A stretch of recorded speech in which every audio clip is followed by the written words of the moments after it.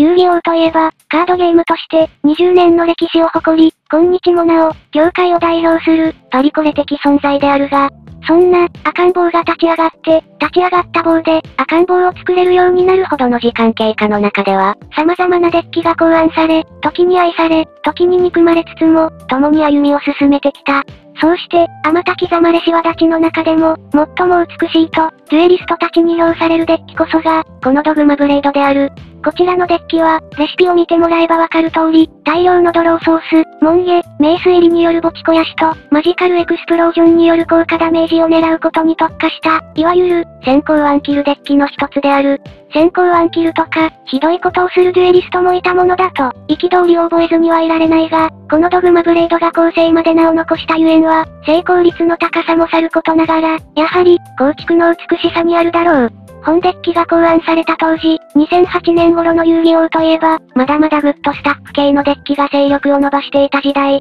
今日のような、テーマを基軸としたデッキは、ごく少数にとどまっていた。それゆえ、コンボデッキを作ろうにも、テーマ同士を組み合わせるといった、単純な方法を取ることができず、例によってこのデッキも、一見すると、テーマもへったくれもない、ごったにのような印象を受けがちである。しかし、実際には、ドグマブレードほど、シナジーの噛み合ったデッキも他になく、多くのデュエリストたちが、そこにミケランジェロ的美学を見出したことにも、不思議はない。名前の由来となっているドグマガイは、エアーマンからサーチ可能なレベル8で、デスティニードロー、トレードイン、双方のコストとして優秀な働きを見せた。同時に、3体生贄という召喚条件から、モンスターゲート、メイス入りの効果を邪魔しない点も、高く評価されていた。名前の由来のもう一つ、真剣フェニックスブレードは、言わずと知れたコスト要因であり、墓地の戦士族2体を除外することで手札に返ってくるため、手札コストを要するカードの運用に、一役買っていた。加えて、ドグマブレードにおいては、モンスターを除外することが、メリットとして機能し、ディスク外や、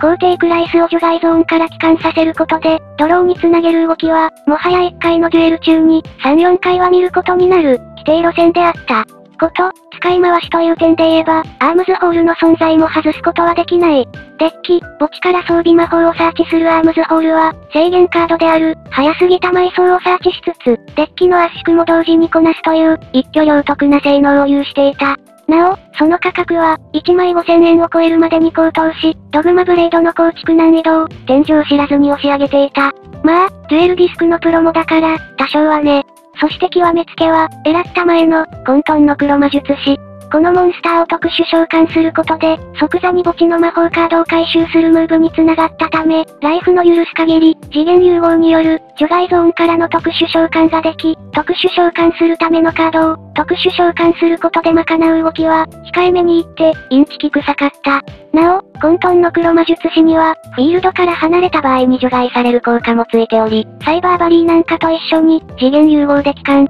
特殊召喚時には、次元融合を回収してループというのが、デュエリストとコンクロの、エターナルだった。ちなみに、次元融合のライフコストは、魔力剣薬術で踏み倒すぞ。かっこ白心。隠して、テーマの垣根を越えた構築ながら、圧倒的シナジーを備えたドグマブレードは、時代に名を轟かせ、同年、9月の制限改定を迎える頃には、主要パーツを軒並み規制され、ひっそりとその生涯を終えた。あれから10年以上が経ち、今日、デュエリストたちの記憶の中には、その構築連度の高さと、動きの無駄のなさから、歴代デッキの中で、最も美しいデッキという、栄誉だけが残されている。ご視聴ありがとうございました。